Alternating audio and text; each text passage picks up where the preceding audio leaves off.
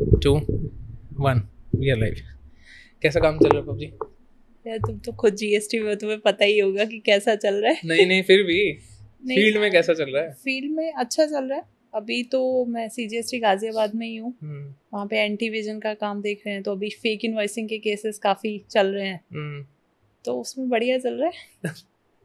पिछली बार जब मैंने बात करी थी आपसे तो 21 अरेस्ट थे।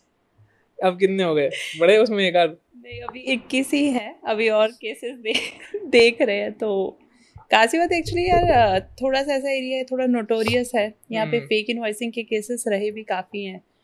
और हमारे मतलब कहीं टीम अच्छी थी सीनियर ऑफिशियल्स अच्छे थे। हम्म, तो यहाँ पे मतलब पिछले एक डेढ़ साल में इक्कीस अरेस्ट हो गए हैं। तो मैंने जितनी बार आपसे बात करी है you are you have always a smiling face arrest करने भी ऐसे ही जाते हो क्या? विद स्माइलिंग फेस कि चलो भाई आपका नंबर आ गया है बैठो गाड़ी में।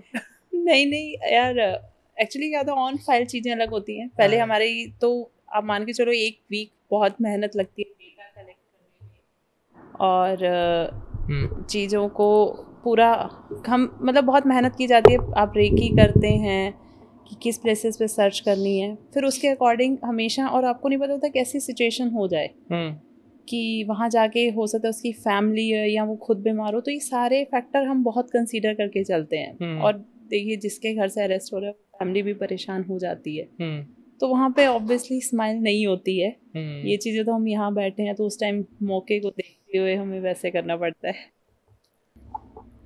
तो क्या प्रोसेस फॉलो करते हो फिर आप लोग?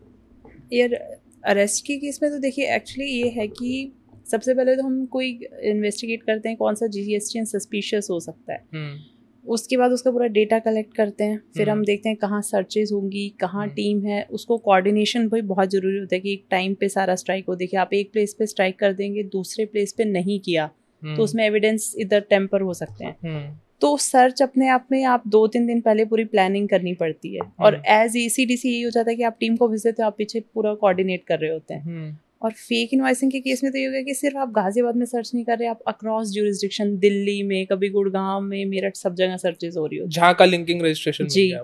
तो एक ये चीज़ बहुत वो रहती है। उसके बाद ये होता है कि अगर अमाउंट पाँच करोड़ क्रॉस हो रही है हम्म, तो ये हमारे लॉ में प्रोविज़न है कि अरेस्ट हो सकता है अगर वो जो सेक्शंस दिए गए हैं उसके अकॉर्डिंग उसका ऑफेंस कमिट हुआ है। करेक्ट तो फिर उसके अकॉर्डिंग देखिए वो तो लंबा चौड़ा प्रोसेस होता है मैंने इस पर क्लास भी ली हुई है तो हम सारा ड्यू प्रोसेस फॉलो करते हुए फिर हमारा कमिश्नर सर का अप्रूवल होता है उसके बाद उसका अरेस्ट होता है फिर उसको कोर्ट में प्रोड्यूस किया तो जाता है। तो आप नासिन गए थे क्या लेक्चर लेने के लिए? हाँ एक्चुअली अभी दिल्ली में इंस्पेक्टर्स का काफ़ी बड़ा बैच आया है। हाँ हाँ। तो 200 हो गए हैं वो तो उनकी नासिन फरीदाबाद में क्लासेस हो रही हैं। तो इसी पे अच्छा। सर्च अरेस्ट पे एक लेक्चर था तो वहाँ हमने काफ़ी डिटेल में इस पे डिस्कशन किया था। अच्छा तो once you go for the search procedure आपने सर्च कर लिया you find evidence you find that this person needs to be arrested फिर उसके बाद क्या होता है? देखिए ये डिसीज़न होता है कमिश्नर सर के हाथ में। तो हम्म। फिर पूरा उसका स्टेटमेंट चलता है सारे एविडेंस कलेक्ट किए जाते हैं उनको फ़ाइल पे रखा जाता हम्म। है ताकि जो डिसीज़न मेकिंग अथॉरिटी है उसके सामने सारी फैक्चुअल पोजीशन होनी चाहिए। करेक्ट फिर कमिश्नर सर का होता है कि हाँ इसको अरेस्ट करा जा सकता है रीज़न टू बिलीव इनफ है। तो फिर वो ये देते हैं तो फिर उसके बाद अरेस्ट मेमो इशू होता है उसका प्रॉपर मेडिकल करवाया जाता है। हम्म। और एक चीज़ मैं बोलूँगी कि हमारे टाइम हम बहुत चीज़ें हमने बहुत से केसेस देखे एक बार एक पर्सन काफ़ी बीमार भी था तो उसको हम खुद एंबुलेंस में लेके गए। अच्छा। तो ये सब चीज़ें बहुत टेक केयर की जाती है हमेशा। हम्म। फिर उसको जाके हमें मेडिकल वगैरह कराने के बाद कोर्ट में प्रोड्यूस करना होता है। ठीक है। तो फिर फर्दर जज का अपना होता है कि उसको आगे रिमांड में भेजना है नहीं भेजना है। मोस्ट ऑफ़ द केसेस में क्योंकि आजकल ये ऑफेंस ही इतने बड़े हो गए हैं तो उसको फर्दर हमें कस्टडी मिल जाती है।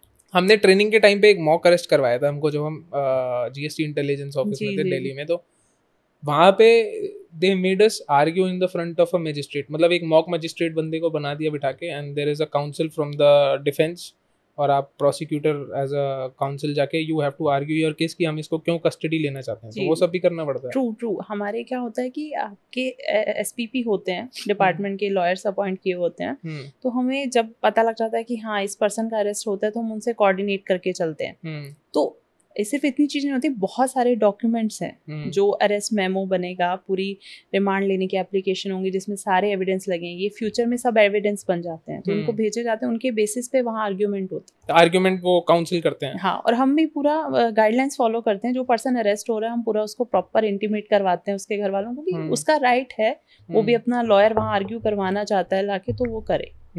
तो ये सब सारी दी जाती है। तो हाँ हर बार काफ़ी आर्ग्यूमेंट होते हैं। फिर उसके बाद तो अभी तक ऐसा कोई चैलेंजिंग अरेस्ट हुआ है कि जिसमें मतलब ऐसे एकदम से दिक्कत हो गई हो एंड ऑन द स्पॉट आपको कुछ डिसीज़न लेना पड़ा हो? देखिए बहुत से फैक्टर रहते हैं। एक तो आपको पहले सर्च आपकी सक्सेसफुली हो जाए। हम्म, ये बहुत मैटर करता है। हम्म, कि जहाँ से जो एविडेंस है एक ही टाइम पे स्ट्राइक हो कई बार टीम पहुँच रही है कोई किसी की गाड़ी खराब होगी आपको पीछे से बैकअप देना होगा ये सब चीज़ें रहती हैं। फिर सारे एविडेंस कलेक्ट हो जाए। हम्म, ये बहुत इंपॉर्टेंट चीज़ होती है। फिर देखिए ये तो नहीं है लेकिन जैसे मैं एक केस था मैंने बोला था कि उस पेशेंट की हेल्थ का बहुत इशू था।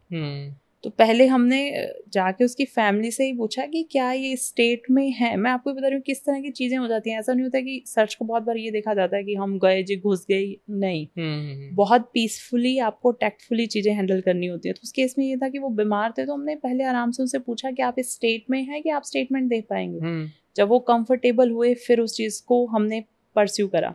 हाँ कुछ जगह ये भी होते हैं कि जी हम तो एक केस में अरेस्ट था कि मैं तो अपने डॉक्यूमेंट पे साइन नहीं करूँगा। हम्म, तो मैं मतलब बाकी तो चलिए अब आप क्या करेंगे? फिर आपको लीगल प्रोविजंस पढ़ने पड़ते हैं। एक केस में अभी थोड़े दिन पहले हुआ वो कहता मैं किसी को इंटीमेट ही नहीं करना चाहता मेरा अरेस्ट हो रहा है। अच्छा। बल्कि ये आपने पढ़ा होगा कि गाइडलाइंस है सुप्रीम कोर्ट की कि आपको हाँ, करना है। तो फिर हमने लीगल प्रोविज़न देखी तो हमने फिर उसमें है कि वो नहीं करना चाह रहा तो लेकिन हमने लेटर भिजवाया उसके घर पे इंटीमेट किया। तो राधा देन देखिए जीएसटी के प्रोविज़न और एविडेंस कितने करने हैं, ये तो हम हैंडल कर लेंगे लेकिन ये जो बहुत ह्यूमैनिटेरियन इश्यूज़ आ जाते हैं इस पर आपको बहुत बार सोचना पड़ता है. कि वो पर्सन कह रहा है नहीं मैं तो बताऊँगा ही नहीं किसी को. बट हमें सारी चीज़ें लेके चलना पड़ता है। एक बार एक केस था उसमें जैसे वो भाई बहनी रहते थे एंड जो उसकी सिस्टर थी शी वॉज़ नॉट ओके थोड़ा मेंटल इश्यूज़ थे। तो हम हमेशा ध्यान रखते हैं कि एक लेडी ऑफिसर सर्च में रहे। हम्म, क्योंकि देखिए हमें दो चीज़ें मान के चलनी है। हमने उनकी फीलिंग्स उनके सेंटिमेंट्स हर्ट नहीं होने चाहिए पीसफुली सर्च होनी चाहिए वहीं एट द सेम टाइम हमारा कोई एविडेंस ना चला जाए। हम्म, ये जो बैलेंस होता है ये आपको हर बार एक सर्च में आप एक्सपीरियंस से सीखते चले जाते प्लस वो on the spot every case differ भी करता होगा सिचुएशन टू सिचुएशन बिल्कुल। Hmm. तो ये बहुत वो चीज़ हो जाती है। कई बार आप सर्च पे जाएँगे आपको इतना कैश मिल जाएगा कि आपको उस कैश को संभालना है। तो कैश जब मिलता है तो you have to intimate the income tax department और हैंडल कर लेते हैं। पहले तो उस टाइम तो ये होता है कि जैसे वो कैश मिला जैसे अभी हाल फ़िलहाल में एक करोड़ से ऊपर मिल गया तो हमारा है कि उसको कायदे से आपको उनके सामने पंचास हमेशा होते हैं। हम्म, जब भी सर्च होती है तो उनके सामने प्रॉपर सीजर किया जाता है। हम्म, तो हम सबसे पहले उसकी एफडी करवा देते हैं कि एक बैंक की सेफ़ कस्टडी में चला गया। तो उसके बाद क्या होता है कि हम जनरली फिर इनकम टैक्स को इंटीमेट करना शुरू करते हैं। एक जो मेरे दोस्त इस तरह से आई या इन आईपीएस इन सब जॉब में वो जानते हो कि एक आर करके फॉरम है हम्म, जहाँ जितने ऑफेंसेज हैं वो अपनी इन्फॉर्मेशन शेयर करते हैं। हम्म, तो हम वहाँ पे भी उस इन्फॉर्मेशन को शेयर कर देते हैं। ओके तो ये चीज़ें तो हैं ही। ठीक है। तो जब आप लोग अरेस्ट के लिए जाते हो या मतलब सर्च के लिए जाते हो तो जैसे मैं जब फ़ील्ड में था तो काफ़ी सारे एरियाज़ ऐसे होते थे जहाँ पे वी नीड पुलिस सपोर्ट कि बैकअप हो रहना चाहिए या फिर हमको उनसे पूछना पड़ता है कि हम यहाँ चले जाएँ is is it not a hostile area हम चले जाएँगे तो वापस तो आ जाएँगे जी जी. तो इधर गाजियाबाद में है क्या ऐसा कुछ देखिए यही मैं कह रही हूँ कि आपको पहले वो एरिया और आपको क्या दिक्कतें हो सकती हैं हम्म। ये आपको हमेशा आप क्या होता है एसीडी से हमेशा बीच की कड़ी है जो फ़ील्ड में बैठे हैं हम्म और आपके ऊपर जिन्होंने डिसीज़न लेना है आप हम्म। उनको बीच में कोऑर्डिनेशन आपने करना है तो हमेशा हम पहले काउंट करके चलते हैं कि वो एरिया कैसा है क्या दिक्कतें हो सकती हैं प्लस अलर्टनेस देखिए कई बार क्या होता है कि मैं ऐसे नहीं कहूँगी कि लोग आपको प्रॉब्लम में डालना चाहते हैं। कुछ एरियाज़ ऐसे होते हैं वहाँ गए तो एक जनरली भीड़ इकट्ठी होनी शुरू हो जाती है। क्यों जी? क्या सर्च हो रही है यहाँ पे? हम्म, हम्म, चाहे वो उसके लिए क्यूरियस हैं क्यों हो रहा है लेकिन देखिए आपको नहीं पता क्या सिचुएशन चेंज हो जाए। करेक्ट तो ये सब फैक्टर हमें रखने पड़ते हैं। हाँ बहुत बार पुलिस की ज़रूरत पड़ी है। जैसे एक केस में हो गया था कि उसके पास गन वगैरह थी हमें पता भी था। हम्म। और थोड़ी दिक्कत हो रही थी। और मैं इस मानूँगी कि इस मामले में मैं लकी रही हूँ कि यहाँ पे हर डिपार्टमेंट से बहुत सपोर्ट मिला है हमें हमेशा ही। हम्म। तो उस दिन पुलिस ने हमें हेल्प की उन्होंने अपने चार कांस्टेबल भेजे और हमारी पूरी पीसफुली प्रोसीडिंग कंप्लीट हुई। तो ये चीज़ काफ़ी अच्छी मेरे लिए रही है इसलिए मैं कहूँगी कि मैं काफ़ी लकी रही हूँ इस मामले में। तो काम आपको इंटरेस्टिंग लग रहा है एकदम? मैं खुश हूँ। बढ़िया काम है जी जी जी। अच्छा तो अपार्ट फ्रॉम दिस एनफोर्समेंट का काम what else is your work schedule schedule normal अपनी लाइफ हाँ में। नॉर्मल क्या चलता है? देखिए जब तो सर्च होती है तो कई बार तो मैं रात में तीन चार बजे भी वापस आई हूँ या सुबह हम चार बजे उठ के भी गए हैं। हम्म। तो वो डेज़ तो हमारे हैक्टिक रहते हैं वरना तो नॉर्मल सुबह उठे आप। आजकल मैंने नई हॉबी रखी हुई कि मुझे पेड़ पौधे लगाने का बड़ा शौक चढ़ा हुआ है तो मैं थोड़ा तो वर्क लाइफ बैलेंस अच्छे से मैंने बहुत अच्छा। बहुत अच्छे से। तो वो काम कर लिया फिर ऑफ़िस गए ऑफ़िस से आने के बाद अपनी वॉक कर ली ये सब चीज़ें रहती हैं। बाकी मुझे और मेरे हस्बैंड को घूमने का शौक है तो हमें जब भी छुट्टी मिलती है तो हम घूम ही लेते हैं।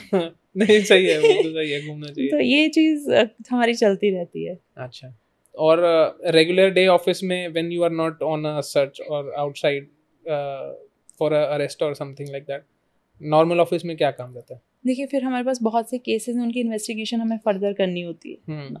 आप एग्जांपल अरेस्ट का केस ही मान लीजिए उसके बाद होता है कि जो एक्यूज होता है वो बेल एप्लीकेशन डालेगा उसके कमेंट्स भेजने हैं। हम्म। फिर हर फर्दर हमें उस फ़ाइल में इन्वेस्टिगेशन करनी होती है और आजकल फेक इनवॉइसिंग के केसेस में तो क्या है कि बहुत से इनवर्ड हैं आपको उनको चेक करवाना है। हम्म। तो ये काफ़ी और चीज़ें चलती रहती हैं। बैक एंड का प्रोसेस आपका चलता रहता काफ़ी है चलता रहता है। कोई नई इन्वेस्टिगेशन डेवलप कर रहे हैं कोई नया केस डेवलप कर रहे हैं। Either you are doing arrest or preparing for arrest और और और उसके बाद के जो या फ़ाइल उसके बाद का फ़ाइल ये सब चलती रहती है। ठीक है। You are having fun in your job uh, having a good life uh, work life balance. ठीक है। तो स्कूलिंग uh, आपने राजस्थान से करी। हम्म।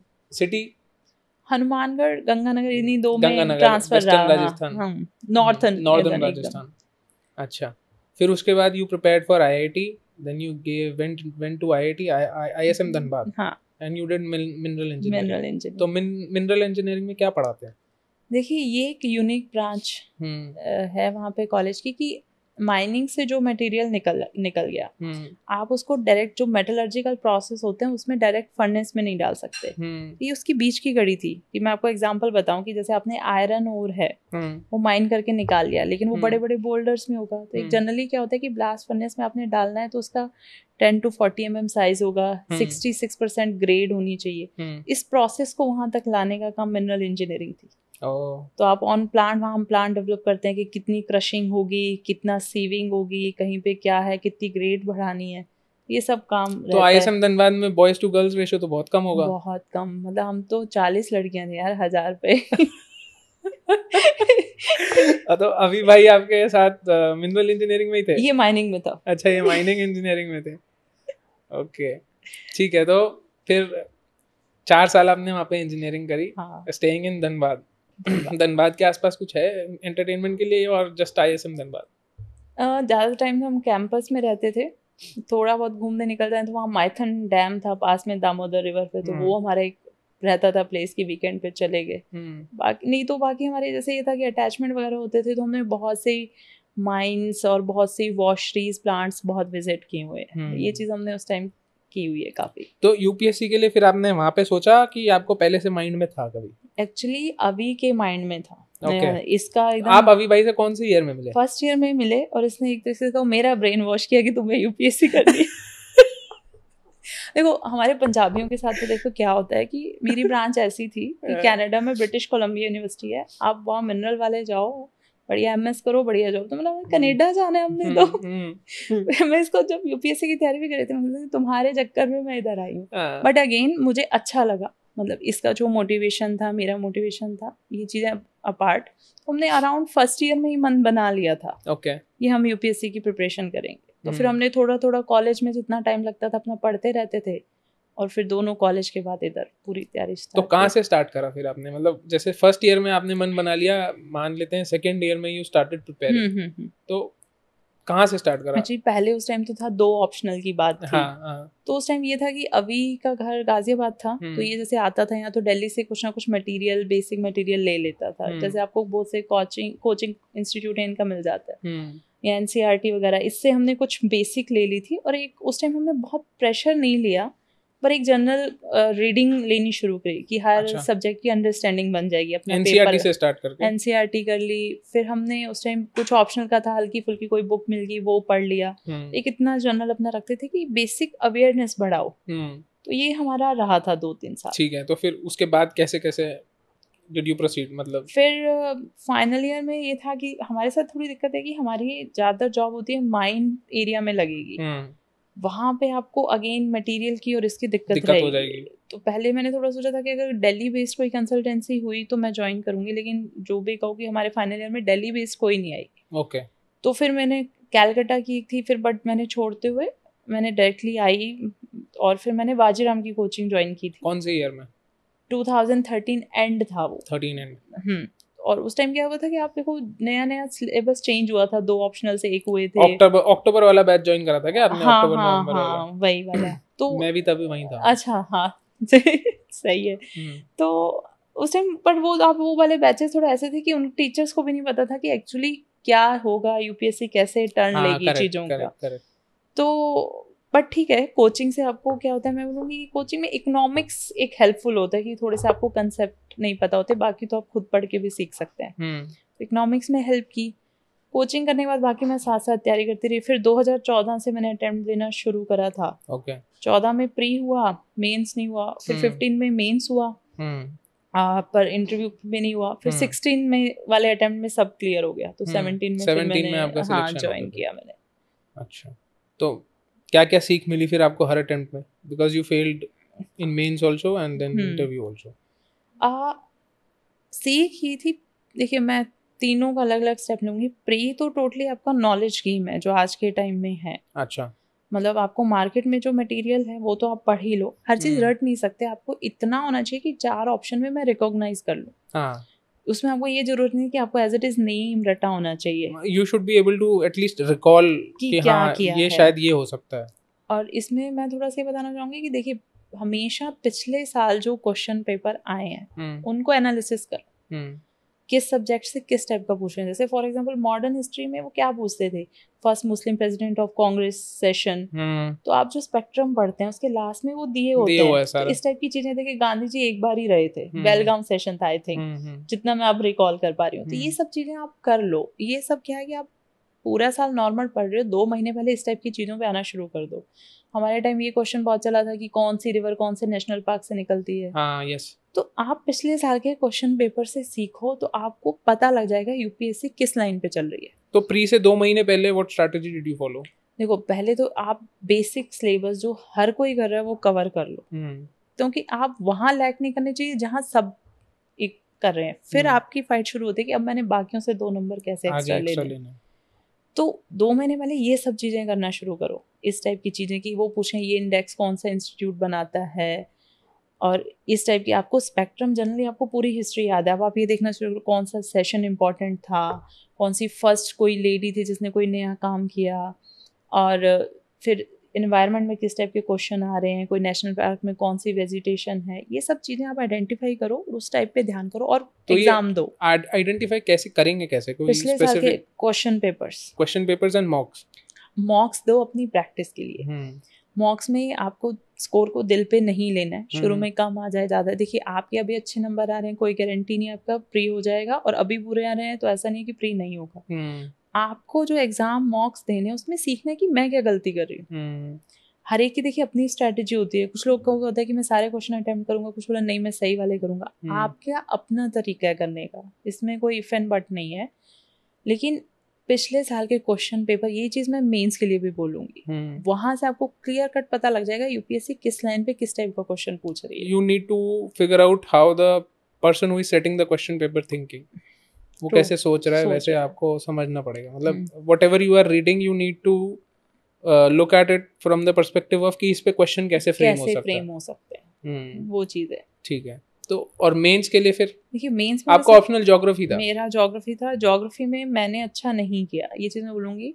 लेकिन मेरे जीएस हमेशा अच्छा रहा। हम्म, मेरे जीएस में हमेशा ऐसे मार्क थे कि टॉप फिफ्टी रैंक में जितने मार्क्स होते हैं। अच्छा। तो मेरे लिए जीएस बहुत अच्छा था। और जीएस के साथ क्या हुआ था कि फ़र्स्ट एक अटेम्प्ट देने के बाद सेकेंड अटेम्प्ट से मैंने अपने शॉर्ट नोट्स बनाने शुरू कर दिए थे। हम्म, देखिए मैं बोलूँगी कि वो क्या थे आप पहली बार में नहीं बना सकते। जब आपका एक बेसिक अंडरस्टैंडिंग सब्जेक्ट की हो जाती है उसके बाद ही आप उसको शॉर्ट करके लिख पाएँगे। हम्म। लेकिन मैं ये चीज़ हमेशा बोलती हूँ कि क्या करना है? कोई भी इशू है करंट का कोई भी बिल ले लीजिए आप या हम्म। कोई भी मतलब विमेन रिजर्वेशन का बिल है इन पार्लियामेंट तो इशू क्या है? दो लाइन ये उस पे आज तक कोई गवर्नमेंट की पॉलिसी कोई कॉन्स्टिट्यूशन अमेंडमेंट कोई लॉ कोई जजमेंट रही है आप वो लिख दीजिए। हम्म।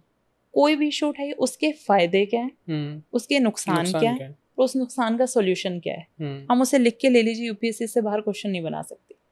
करेक्ट आपको यही करना है। हम्म। आपको हर एक इशू का इतना बनाना है और एक एक पेज रखो हम्म। और हर साल 90 परसेंट टॉपिक वही होते हैं। मतलब हर टॉपिक जो भी टॉपिक फिगर आउट हो रहा है आ रहा है न्यूज़ के अंदर आ रहा है या फिर आप पढ़ रहे हो उसके बेस उसके ऊपर आपके पास एक राइट अप होना चाहिए। बस उसके और यही फ़ायदे नुकसान सॉल्यूशन अब नेक्स्ट चीज़ आती है कि इतना कर लिया मार्केट में इतना मटेरियल है कि हर कोई वो आंसर लिख रहा है। हम्म, अब आपने एक नंबर एक्स्ट्रा लेना है। हम्म। उसके लिए मैं हल्का सा ऐसा बताऊँगी जैसे पेपर टू पेपर थ्री मेरे अच्छे जाते थे हमेशा। हम्म। क्योंकि पेपर टू में आपको कॉन्स्टिट्यूशन के प्रोविज़न अच्छे से आने चाहिए। आप दिव्यांग पे क्वेश्चन लिख रहे हैं या सिविल यूनिफॉर्म सिविल कोड पे लिख रहे हैं तो आपको 44 सेक्शन पता होना चाहिए वो मस्ट hmm. है। hmm. आपने फ़ायदे नुकसान लिख दिए लेकिन वो चीज़ नहीं लिखी तो आप गलत है। ऐसे फाइनेंशियल इंक्लूजन है तो उस पर कोई क्या कमेटीज बनी है उसका नाम आना चाहिए। करेक्ट hmm, फिर कोई कमेटी उसके रिकमेंडेशन एआरसी की कोई रिकमेंडेशन मैं ये नहीं कह रही पूरी एआरसी पढ़ जाओ। हम्म। आपको जहाँ कोई अच्छी कमेटी की रिकमेंडेशन वो अपने शॉर्ट नोट्स में लिखते चले जाओ। मोटी मोटी चीज़ आपके पास रहनी चाहिए। और सेम गवर्नमेंट की जो पॉलिसीज़ हैं एग्रीकल्चर का क्वेश्चन लिख रहे हैं उस टाइम हमारे कोई इंश्योरेंस की बात आ रही है फ़सल बीमा योजना लिखिए। हम्म। आप कंक्लूजन रिमार्क्स में दो तीन पॉलिसी डाल देंगे आप आधा मार्क्स दूसरों से आगे हैं। करेक्ट तो ये चीज़ बहुत हेल्पफुल थी। आपने नोट्स बनाए थे अपने? मैंने हमने बनाए थे ये सारे नोट। इसमें मैं उन थोड़े से लकी हैं कि मैं और अभी साथ में पढ़ते थे तो हम डिवाइड कर लेते थे। हम्म। कि आधे तुम बना लो आधे मैं बना लेते तो ये हमारा बहुत अच्छी चीज़ रही है इसलिए हम कभी प्रिपरेशन में बोर भी नहीं हुए। करेक्ट करेक्ट करेक्ट और एक चीज़ मेंस के लिए मैं ये भी बोलूँगी मेन्स में भी सेम वही चीज़ करनी है कि पिछले साल का क्वेश्चन पेपर कैसा आ रहा है। तो आप जब G S one two three four का सिलेबस देखते हैं हम्म। तो आप देखिए कि हर जो पहरा दिया हुआ है सिलेबस का उसमें से उन्होंने एक क्वेश्चन पूछना है। हम्म। अगर उसमें एक सेक्शन दिया हुआ है कि वीकर सेक्शन तो आप देखो हर बार एक क्वेश्चन आता है। हम्म। तो आप आठ दस पन्ने के एक चाइल्ड पे एक विमेन पे दिव्यांग पे ओल्ड सिटीजन पे एक एक पेज बना के रख लीजिए वो क्वेश्चन उससे बाहर होगा ही नहीं। तो ऐसे ऐसे के लिए फिर स्पेसिफिकली कुछ प्रैक्टिस करी थी आपने कि जस्ट प्रिपेयर द टॉपिक जैसे अभी आप बता रहे हो? ऐसे और एथिक्स में हम जितने एग्ज़ाम्पल गैदर कर सकते थे जितनी कोट्स गैदर कर सकते थे वो हमने हमेशा करी। अच्छा।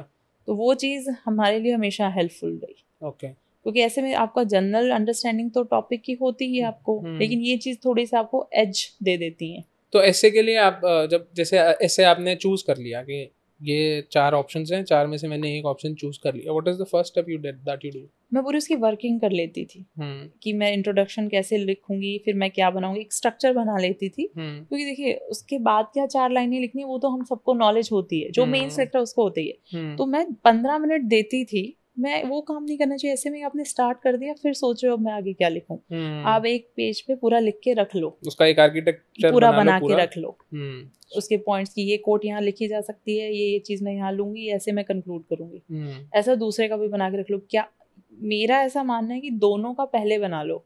एक बना के लिख दिया इतने में क्या होता है फिर आप स्ट्रेस में आना शुरू कर देते हो यार दूसरा कैसे कंप्लीट करूँगा? मे बी आप आफ्टर राइटिंग फ़र्स्ट ऐसे आप थोड़ा कभी कभार ऐसा भी होता है कि ब्लैंक हो जाता है रिकॉल करना क्या होती है। Situation same time management GS mains में बहुत ज़रूरी है। हम्म। देखो क्या होता है कि हम शुरू के आंसर बहुत अच्छे लिख देते हैं लास्ट में हम बहुत ख़राब करते हैं। तो आप पहले ही मान के चलो कि अभी मान लो मान लो बीस क्वेश्चन आ रहे हैं मुझे हम्म। तीन घंटे मतलब वन एटी मिनट्स हम्म, शुरू में दो तीन मिनट आपका हाथ स्लो चलेगा आप पाँच मिनट काट दो हम्म, उसके बाद आप टाइम डिवाइड कर दो कि मेरा सात मिनट में एक क्वेश्चन पूरा होना है। तो आप पहले क्वेश्चन के बाद ही घड़ी देखनी शुरू कर दो।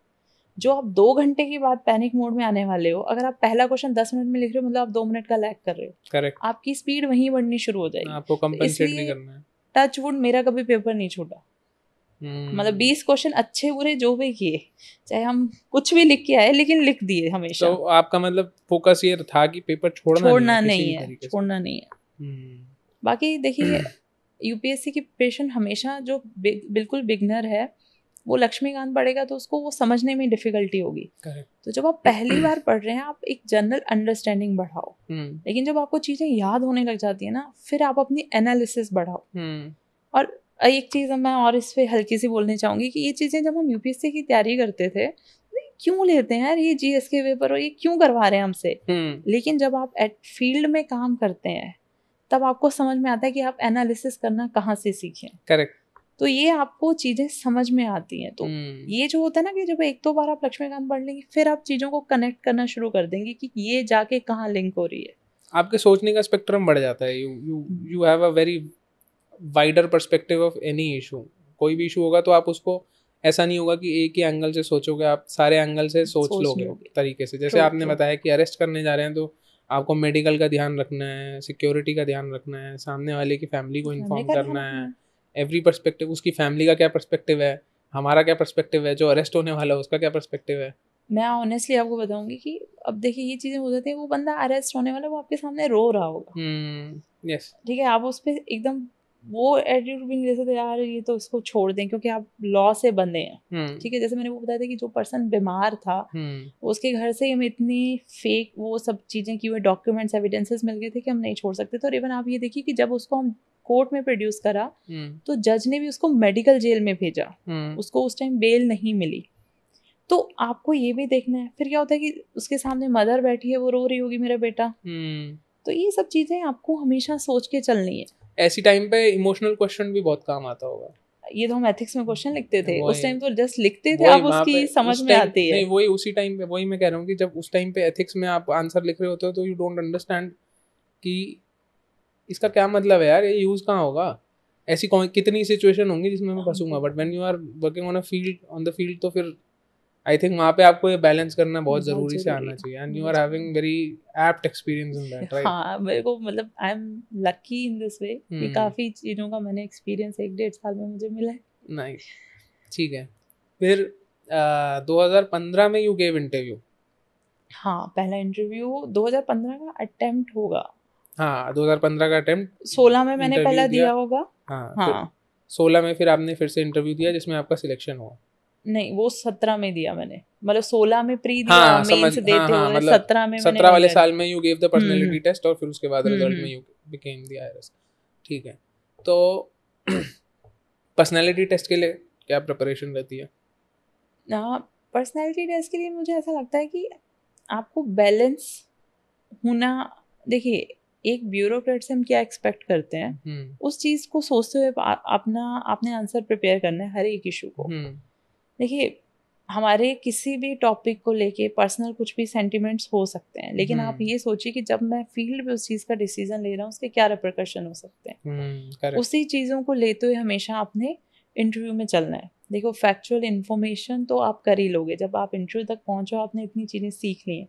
लेकिन आप किसी भी टॉपिक पे बोल रहे हैं तो उस पर क्या सोल्यूशन वो फिजिबल है? क्योंकि उसी पे क्रॉस क्वेश्चन आना है उनका। हम्म। और आप जो भी बोल रहे हैं जो भी स्टैंड ले रहे हैं मान के चलिए कि वो आपसे फ्यूचर में उस क्वेश्चन को कॉन्ट्राडिक्ट ना करवा लें।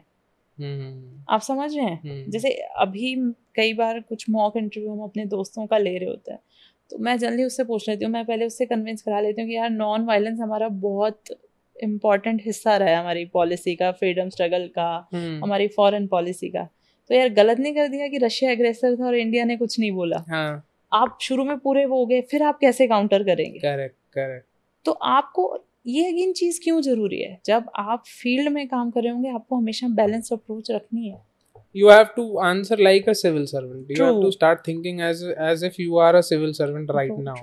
है ना? ये तो है। हम्म। तो मतलब how did you prepare mocks दिए थे आपने हम्म, अरे मेरे साथ तो ऐसा था कि थोड़ा बताऊँगी जैसे मैंने ट्वेल्थ का एग्ज़ाम और आई आई हिंदी मीडियम में दिया था। हम्म।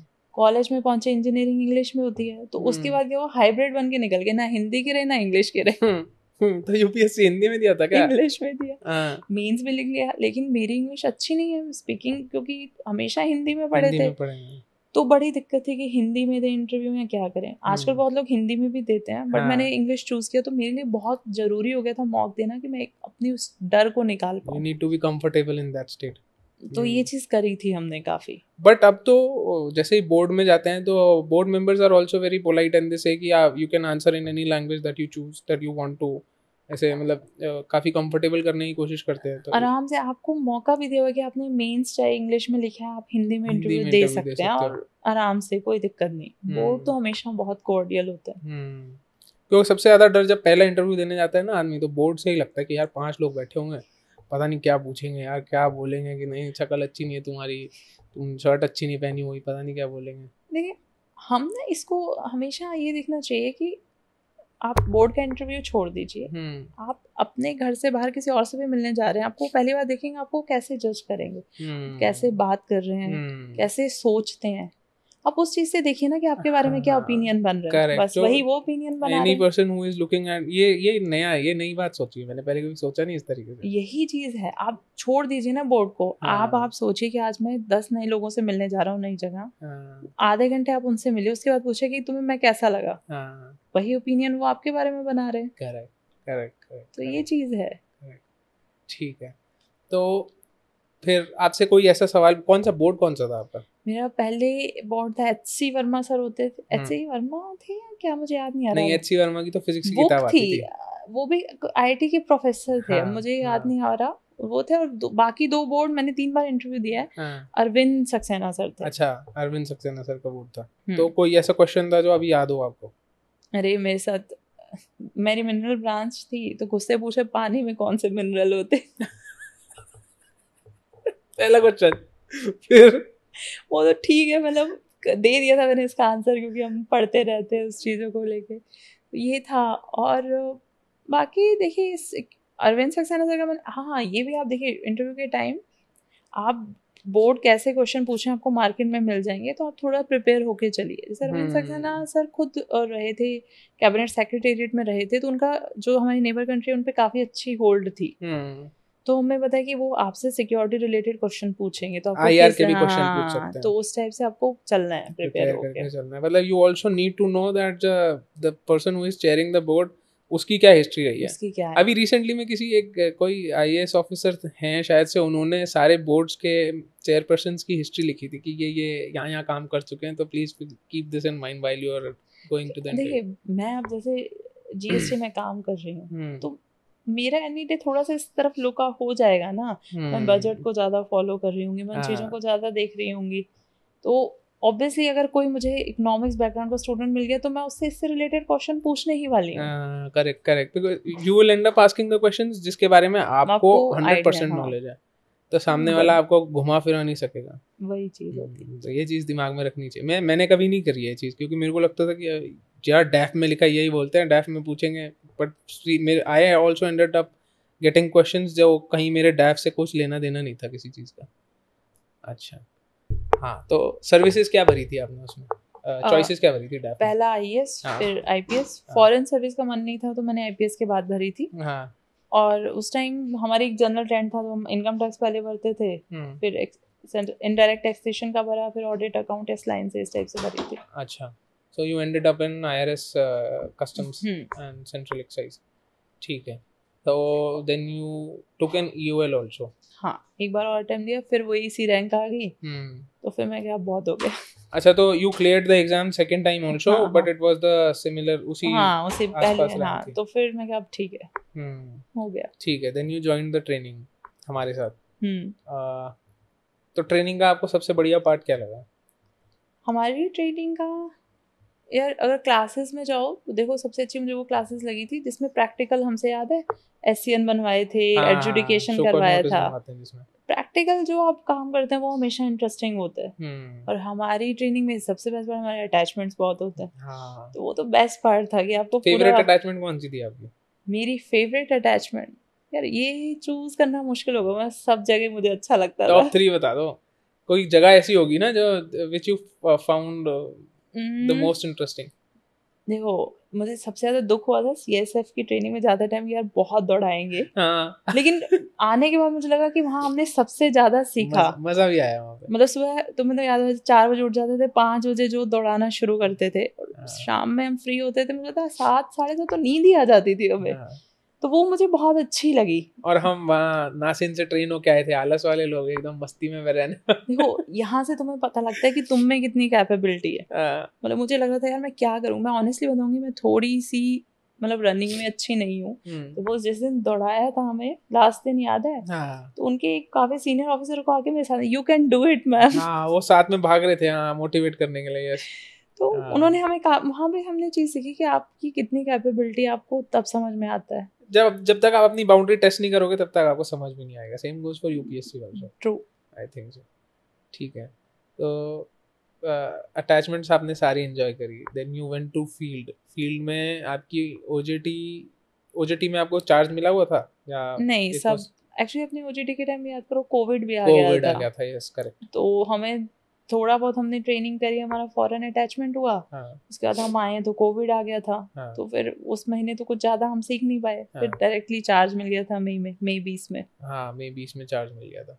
चार्ज में आपको पहले डिवीज़न का चार्ज मिला होगा। मुझे डिवीज़न मिला था फिर धीरे धीरे मतलब 2020 के ईयर में डिवीज़न प्लस हेडक्वार्टर चार्जेस और मैं इस मामले में लकी रही मुझे धीरे धीरे सब चार्जेस का एक्सपोजर हो गया। हम्म, ये मेरे लिए बहुत अच्छी चीज़ थी। हम्म, इसलिए मैं बोलती हूँ ना कई बार लोग कहते हैं कि यार ये चार्ज मिल गया हो गया। आपको हर चीज़ में सीखना चाहिए। मतलब मैंने बहुत से चार्जेस देखे तो मैं पूरी हमारी जीएसटी में वर्किंग कैसे होती है क्या कैसे फ़ाइल मूवमेंट होता है। कई बार कुछ होता है कि ये डाउट क्लियर नहीं हो रहा तो हमें किस ब्रांच में जाके पूछना होगा। ये सब चीज़ें काफ़ी क्लियर हो गई। हम्म, फिर हमारा फरवेशर हुआ था दिसंबर 20 में। हम्म, उसमें आने के बाद फिर जनवरी इक्कीस से एंटी विजन का चार्ज हो गया था। हम्म। तो अभी अराउंड एक साल से ऊपर थोड़ा सा टाइम एंटी डिवीज़न के चार्ज में। हम्म तो डिवीज़न का काम ज़्यादा अच्छा होता है कि एंटी डिवीज़न का? यार सारे काम अच्छे होते हैं।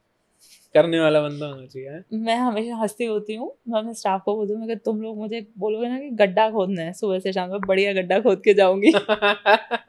कोई काम मतलब बड़ा छोटा नहीं है सारी चीज़ सही है। देखो आपको जो मिले आप उसको लग के करो। जैसे ह- correct. हमारे डिपार्टमेंट को जो समझते हैं तो अरियर रिकवरी टार का काम हाँ, बहुत वो लेते हैं, अरे यार ये कैसे होगा?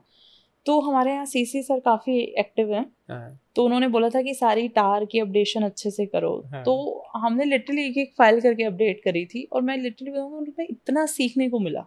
क्योंकि वो एकदम एंड स्टेज पे होती हैं अपनी फाइलें हम्म, कैसे हुआ क्या प्रोसीडिंग हुई तो मुझे बहुत अच्छा लगा उस काम को भी करने हम्म। में। इसलिए हर काम अगर आप कितने खुश होकर कर रहे हो ना उस पर डिपेंड करता है। तो स्टार्टिंग में ही पहली पोस्टिंग में आप जिला गाजियाबाद को एक्सपीरियंस कर रहे हो प्रॉपर कैसा लगा आपको मतलब गाजियाबाद? मेरे गाजियाबाद मुझे इसलिए आना था कि मेरे इन लॉज यहीं। रहते हैं हम्म, तो मेरा फैमिली रीज़न था। इसलिए हम्म। मैंने मेरठ जोन डाला और फिर इधर आई भी तो मेरे लिए अच्छा रहा क्योंकि फैमिली थी पास में तो फैमिली का सपोर्ट बहुत रहा तो हमेशा आप ऑफ़िस पे उतना फोकस कर सकते हैं। हम्म, बाकी गाजियाबाद में देखिए ये मैं बोल रही हूँ फेक इन्वॉइसिंग के केसेस एक हर जगह की एक ट्रेड होती है हर जगह के जो इवेजन का तरीका होता है हर जगह का अलग अलग होता है। तो गाजियाबाद में ये था तो इसका मुझे काफ़ी अच्छा एक्सपीरियंस रहा। आप काफ़ी आगे जाके भी apart from the job also you are working in different position जैसे आप एसोसिएशन में भी काम कर रहे हो और अ, बाकी और भी जैसे आप अपनी हॉबीज भी फॉलो कर रहे हो तो इसका टाइम निकालने के लिए कुछ एक्स्ट्रा एफर्ट मारना पड़ता है कि नॉर्मली हो जाता है? नॉर्मल रूटीन में देखो ऐसा है कि अपना काम करो। हम्म, अगर आप अपना काम टाइमली कर रहे हो तो आपको वो एकदम दिक्कत नहीं आएगी। हम्म, फिर हाँ हम ये ज़रूर देख के चलते हैं कि कोई एक्सटेंडेड वीकेंड आ रहा है या जहाँ पे छुट्टी मिल सकती है हम्म, तो उसमें हम फिर अपना घूमने का प्लान बना लेते हैं। घूमने का। तो वो चीज़ सही रहती है। तो रिसेंट में कौन सी वेकेशन कहाँ पे गए थे आप? हम ही अभी फरवरी में तो गए थे जोधपुर जैसलमेर साइड हम्म, तो वो बढ़िया रहा हमारा। जोधपुर जैसलमेर काफ़ी ब्यूटीफुल जगह है। जोधपुर स्पेशली राजस्थान में आपको फोर्ट्स और ये सब चीज़ें तो बहुत देखने को मिलेंगी। राजस्थान से यूपी आ गए अब आप। हाँ हम्म, राजस्थान से यूपी आ गए। ठीक है। तो आगे के लिए कुछ सोचा है अभी? या यार इतना जैसा? सोच के इसमें नहीं मैं मतलब अपना ये है कि एक चीज़ मैं बोलूँगी अभी स्टेज पे आके क्या होता है कि आपको अपना खुश रहना बहुत मैटर करता है। हम्म यस तो किस चीज़ में आपको खुशी मिलती है? हम्म। कुछ काम करके खुशी मिलती है तो काम करते रहो। मतलब मेरे साथ मतलब सबसे ज़्यादा दिक्कत कोविड टाइम ही हो जाती है यार कुछ करने को ही नहीं है। तो किसी ना किसी चीज़ में खुद को बिज़ी रखो। हम्म। तो वही रहता है। अच्छा जैसे अब हम अटेम्प्ट देते हैं यूपीएससी में अटेम्प्ट दे रहे हैं नॉट जस्ट यूपीएससी इवन किसी भी फ़ील्ड में अगर आप कुछ एस्पायर कर रहे हो and you are working towards it जैसे आपके साथ हुआ पहली बार आपने प्री दिया फिर मेंस दिया पर मेंस क्लियर नहीं हुआ। सेकेंड uh, टाइम में भी नहीं हुआ फिर थर्ड अटेम्प्ट में यू क्लियर द एग्ज़ाम तो जो जब आपके मतलब आपका एफर्ट जो है it's not giving the fruit that you wanted then how do you pick yourself up how do you motivate yourself की I have to do this there is no other choice देखो एक तो जब result आता है ना हम्म। उस time पे तो मैं कह रही हूँ कि सबसे ज़्यादा है कि आप ज़्यादा दिमाग मत लगाओ थोड़ा सा खुद को ब्रेक दो। हम्म। ठीक है? कि उस ज़्यादा एनालिसिस ना करके दो दिन उस चीज़ से बाहर निकलो। हम्म। और एक चीज़ मैं सबसे पहले बोल दूँ UPSC is not the end अब कितने लोग मिलेंगे जिन्होंने यूपीएससी का एग्ज़ाम दिया उसमें नहीं थे लेकिन उन्होंने बाद में दूसरी फ़ील्ड में जाके बहुत अच्छा किया। है सक्सीडेड तो इसलिए यूपीएससी को कभी कभी हमें हमेशा एंड नहीं समझना है। हम्म। इसमें हाँ जब हम प्रिपेयर कर रहे हैं दो तीन दिन का ब्रेक लो हम्म। फिर अपनी एनालिसिस करो कि गलती कहाँ की थी। हम्म। जब आपको इस चीज़ पे आ जाते हो कि ये ये मेरी गलतियाँ थी इनको मैं इम्प्रूव कर सकता हूँ तो आपको वापस मोटिवेशन मिलेगा। हम्म। दूसरा यार अपना ना सर्कल हमेशा पॉजिटिव दोस्तों का रखो। करेक्ट ये चीज़ बहुत मैटर करती है। जैसे हम तीन चार दोस्त से तो हम अपना देखो आप किसी से शेयर भी करो। ये सिर्फ़ यूपीएससी टाइम की बात नहीं आज के टाइम भी आप परेशान हो आप शेयर नहीं कर पाओगे। आप खुद दुखी होते रहोगे? तो आपका एक सर्कल अच्छा होना चाहिए जिससे आप डिस्कस कर चाहे वो आपके पेरेंट्स हो जिससे आप खुल के बात करो या कोई दोस्त हो। हम्म। तो आपने शेयर करो आप एनालिसिस करोगे उन कमियों पे काम करो। और मैं हम्म। आपको आज बताती हूँ एक चीज़ आपने जब अटेम्प्ट दे दिया उसमें होना नहीं होना बात की बात है। लेकिन आपको जब लगे ना यार अब इसमें मैं कुछ और नहीं कर सकता था वो हम्म दुख नहीं होगा। डोंट डोंट रिग्रेट हम्म? जैसे मैंने जितने अटेम्प्ट दिए हो गया मुझे ये दुख नहीं ये नहीं हो पाया वो नहीं ठीक है यार मैंने जितनी मेहनत की थी बढ़िया हो गया। हम्म। वो चीज़ है। ठीक है। सेल्फ मोटिवेशन के लिए डिड यू डू एनीथिंग यार अ, हाँ मतलब मेरा थोड़ा रहता तो है मैं थोड़ी सी घीसू कह लो या हार्ड वर्किंग कह लो मेहनत मेरी लगी रहती है और मुझे अच्छा लगता है ये करने में। हम्म। तो मेरे अपने छोटे छोटे हम अपने टारगेट रखने चाहिए। उससे आपको मोटिवेशन कैसे मिलेगा? आपने ये कह दिया कि हाँ मुझे आई बनना है। तो यार ये बहुत लंबा काम है। तुम हम्म। एक टाइम टेबल बनाओ कि ये सात दिन में मैंने ये चैप्टर कंप्लीट करना है। तो वो सात दिन में चैप्टर कंप्लीट होगा बहुत अच्छा लगेगा तुम्हें। हम्म। एक छोटे छोटे गोल सेट करो और खुद को टाइम दो। अपने लिए टारगेट सेट करो then achieve that and you will be automatically motivated motivated फिर खुद को टाइम दो। हमारा हम्म। शाम में होता था कि पार्क में घूमना आधा पौना घंटा। मेरे गाने सुनने अच्छे लगते थे। मैं अपनी वॉक करती थी गाने सुनती थी। फिर ये होता था कि कोई अच्छी मूवी आई है तो मूवी देख के आते थे। हम्म।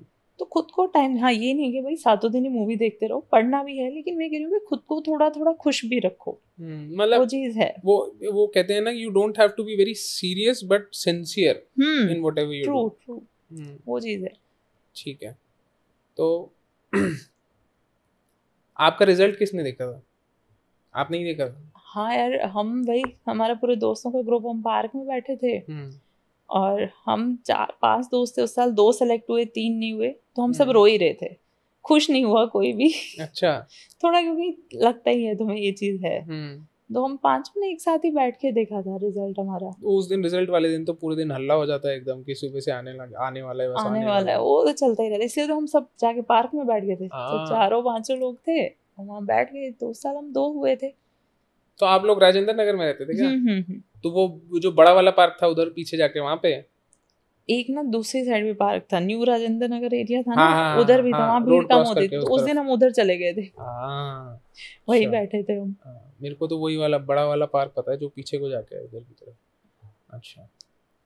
ठीक है। तो आजकल क्या हॉबी फॉलो कर रहे हो आप? यार आजकल मुझे वैसे देखो तो टीवी वगैरह में स्पोर्ट्स वगैरह देखना बढ़िया लगता है। तो हम बोले थैंक्स टू मतलब ये आईपीएल हो गया या फॉर्मूला वन चलती रहती है तो इससे मेरा बढ़िया टाइम पास होता है. फॉर्मूला वन में फेवरेट ड्राइवर कौन सा यार? मैक्स वर्स्टेपन अरे वाह। अच्छा ये देखो आप मैं बोलूँ स्पोर्ट्स क्यों? हम्म, जितनी आपको मोटिवेशन स्पोर्ट्स से मिलता है यार आपको ऑन द ग्राउंड दो हम्म। मिनट में आप कहाँ से कहाँ पहुँच सकते हैं। करेक्ट टेनिस में देखो ड्यूस हो जाता है। हम्म, और आप मैच पॉइंट पे खेल रहे हो एक शॉट में वो आदमी जीत सकता है एक में आप। इससे ज़्यादा आपकी मोटिवेशन और आपकी मेहनत का टेस्ट क्या हो सकता है? हम्म, यूपीएससी तो बहुत पीछे है यार उससे। हम्म, और आप देखो हम इवन बैक्स फॉर स्टेपन की बात कर लो या किसी की बात कर लो हमें आज वो चलाते हुए दिख रहे हैं। पीछे कितने साल की मेहनत है। सही बात है सही बात है। इसलिए मुझे स्पोर्ट्स बहुत अच्छे लगते हैं। हम्म, कि आपको हम कहते हैं यार मैंने इतना टाइम दिया यूपीएससी में और हम उनको देखें यार ये इतना बड़ा ड्राइवर है उसकी पीछे की जर्नी तो देखो तुम। कहाँ से उठ के आए तो इसलिए ये सब चीज़ें मुझे अच्छी लगती हैं तो मैं देखती रहती हूँ। मोटिवेटिंग ऑलवेज मतलब मैं तो ये रेस वेस देख के अभी लास्ट वाली आप रेस देखो उसमें इवन चार्ल्स इलेक्ट्रिक भी अच्छा ड्राइवर है। हम्म। उसकी गाड़ी टर्न कर गई थी ऐसा लगा था कि आउट हो जाएगा। हम्म लेकिन फिर भी वो लास्ट में सिक्स नंबर तक आ गया। तो वो एक एक पॉइंट के लिए मेहनत कर रहे हैं यार। हम्म। आपको उससे सीखने को मिलता है। मैं तो अगले दिन बड़ी खुश हो जाती हूँ फिर लगा के बढ़िया दो हफ़्ते काम करती हूँ। और कौन सा स्पोर्ट देखते हो आप? यार जो मिल जाए। जो आ रहा हो। अभी फ्रेंच ओपन स्टार्ट होने वाला है। हाँ। आईपीएल तो चल ही रहा है। तो मतलब डिपेंड करता रहता है कि तुम्हारे पास उस दिन टाइम है और तुम्हारे पास सब चीज़ें हैं, तो वो जो बढ़िया देख लिया। तो और अब जैसे अभी भाई की इंफॉर्मेशन सर्विस में है अभी भाई। तो आप लोगों के टाइमिंग कभी कभार मिसमैच होते होंगे तो एक दूसरे को टाइम देने के लिए कैसे कम्स नेचुरली और हाँ कम्स नेचुरली क्योंकि हम यार 2009 से जानते हैं। 2009 से जानते हो आप एक दूसरे को? वही तो 2009 में फ़र्स्ट ईयर में मिले थे हम पहले। And and since when are you both in relationship 2010 2010 से।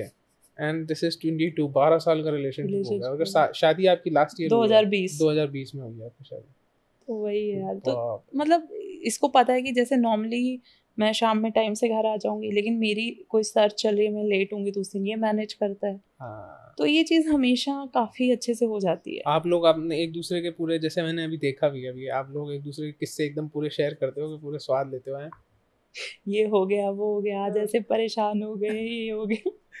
नहीं इवन अभी भाई की जॉब भी ऐसी है कि it's it's very interesting actually मैं मेरे को आइडिया नहीं था मतलब I I try and take some time from him also to do a podcast with him क्योंकि इंफॉर्मेशन सर्विस वाले क्या काम करते हैं? बहुत कम लोगों को आइडिया यार। एक्चुअली अभी क्या हुआ है ना कि विद अभी जो सोशल मीडिया और ये चीज़ें प्रिंट मीडिया हर चीज़ इतनी बढ़ गई है। हम्म। तो इनका डोमेन बहुत बढ़ गया है। हम्म। इसलिए काफ़ी वो even managing social media and everything बहुत आप देखिए छोटी सी चीज़ आपकी सोशल मीडिया पे कहाँ से कहाँ चीज़ें ले सकती है टर्न हम्म।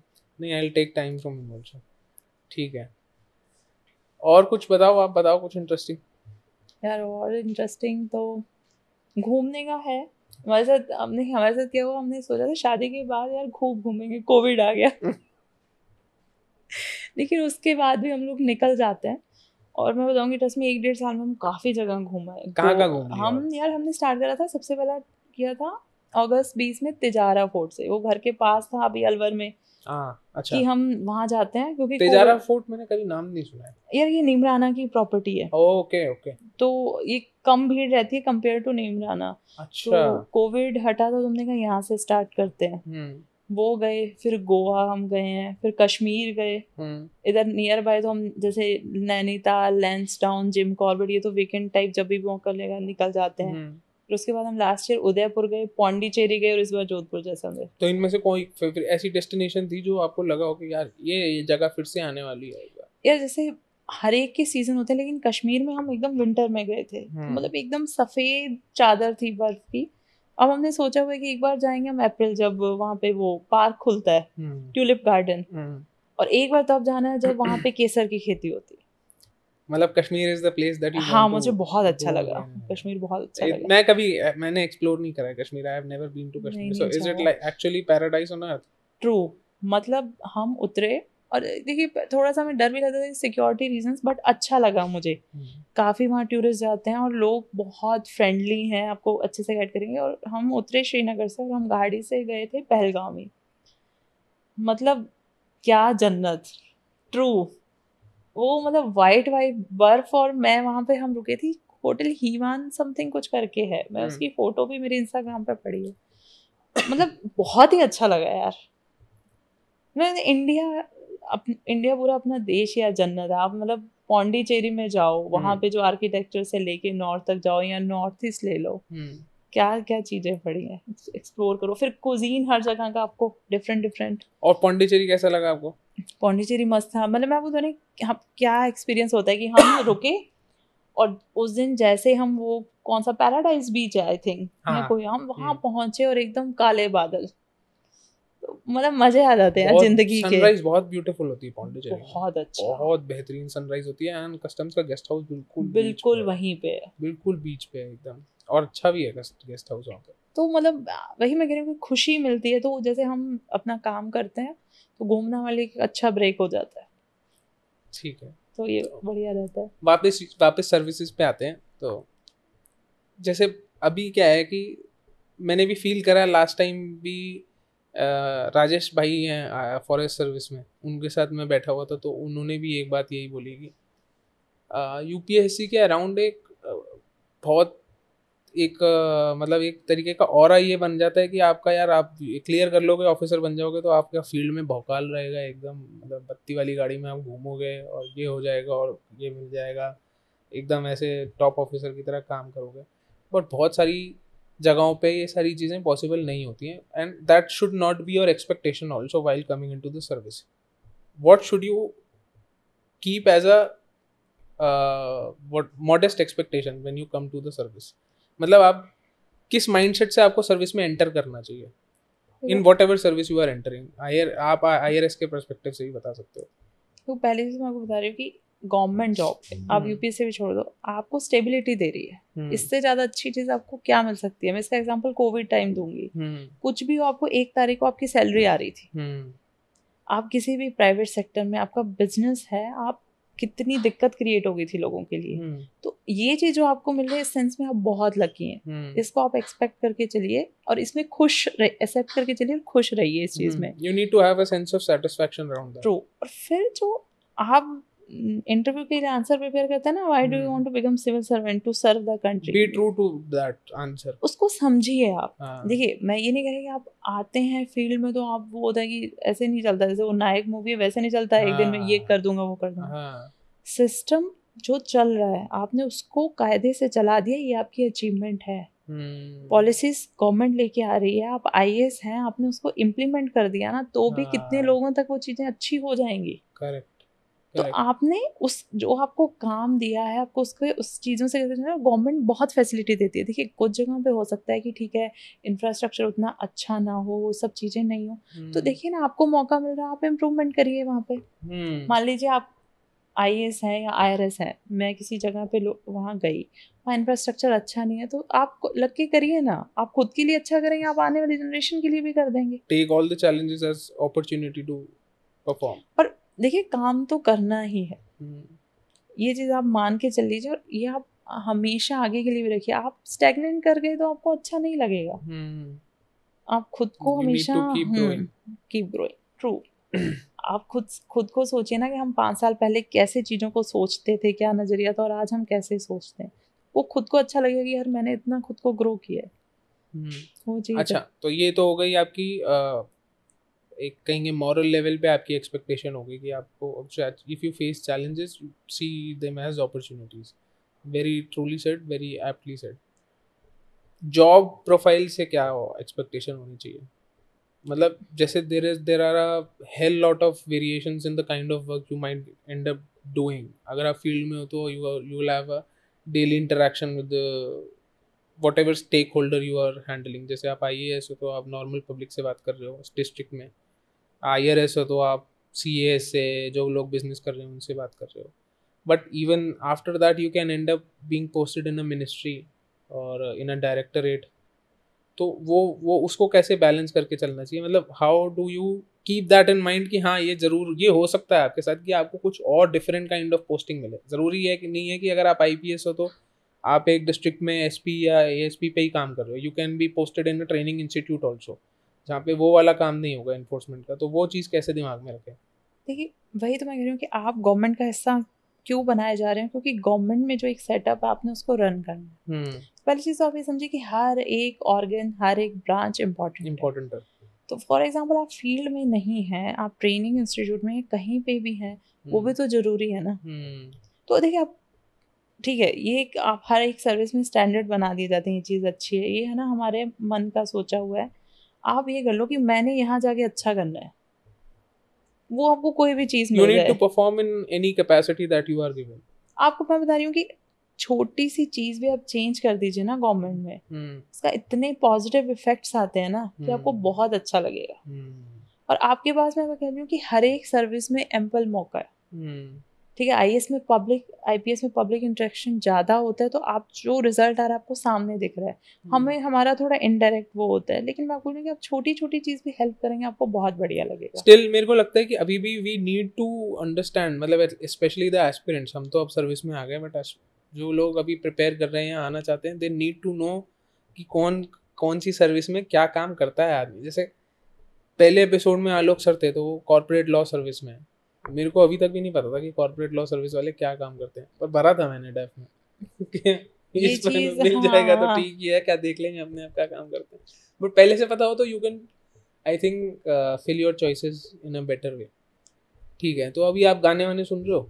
अरे बहुत। प्रॉपर पंजाबी गाने। एकदम। कौन फेवरेट आर्टिस्ट कौन है अभी आजकल? अरे गाने तो दिलजीत दोसांझ के अच्छे आ रहे हैं हाँ। तो बढ़िया है। और एकदम वो तो एकदम टिपिकल वाले पंजाबी में अमृत मान के होते हैं। वो तो हाँ। ऐसा होता है कि यार सुन लो तुम आज आगे मतलब फ़ील्ड में हम ऐसी तैसी कर देंगे। म्यूज़िक अगेन आपको बहुत अच्छा है ना। आप- मैं यूपीएससी की तैयारी में भी बहुत सुनती थी। हम्म, आपके मूड को आपको बहुत काम करता है। हाँ। तो बढ़िया वो तो मैं सुनती रहती हूँ। और मूवीज़ मूवीज़ अभी भी बहुत देखते हैं यार। लास्ट तो- मूवी कौन सी देखी थी आपने अभी हमने लास्ट मूवी थिएटर में गए होंगे 83 देखी होगी यार थिएटर में मैंने। 83 हम्म अच्छा। 1983 मस्त बढ़िया बनाई थी। फेवरेट एक्टर कौन है आपका? एक्टर तो कहना मुश्किल है जो भी एक्टिंग मतलब आप मूवी वाइज उनको अप्रिशिएट कर सकते हैं हाँ, कि किसने किस हिसाब से अच्छी करी है। चलो चलो ठीक है। ठीक है I think we can wrap this up बिल्कुल। चलो. Thank you thank you Dhruv.